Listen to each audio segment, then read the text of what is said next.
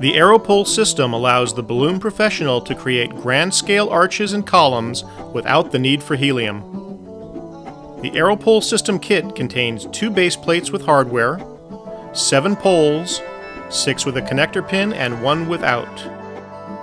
The base plate has multiple holes allowing you to put the connector pin in the best location for your job, and a handle for ease of transport.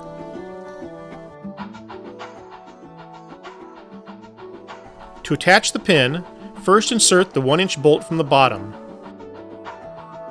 Next, slip on the large flat washer, followed by the split washer. Finally, screw on the pin and snug it with a wrench and screwdriver.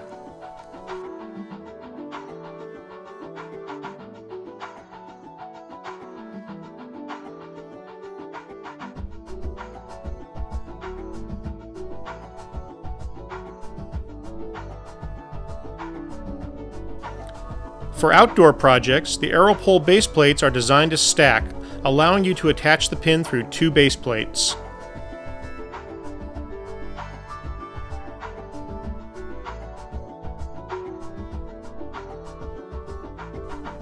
The seven Aeropoles are designed to slip together. Wrap each joint with a spiral of gaff tape to help prevent it from coming apart. Cluster your balloons on the Aeropole. This can be done on the job site or on individual pole sections that you can transport and assemble later. When ready to assemble your Aeropole sections, slip them together and wrap with gaff tape. Next, fill in the space with additional balloon clusters. Using at least two people, your Aeropole arch is ready to be lifted into place. Just slip the end of the Aeropole onto the base plate's steel pin. For added security, use Dacron or monofilament to tie the arrow Aeropole to the base plate.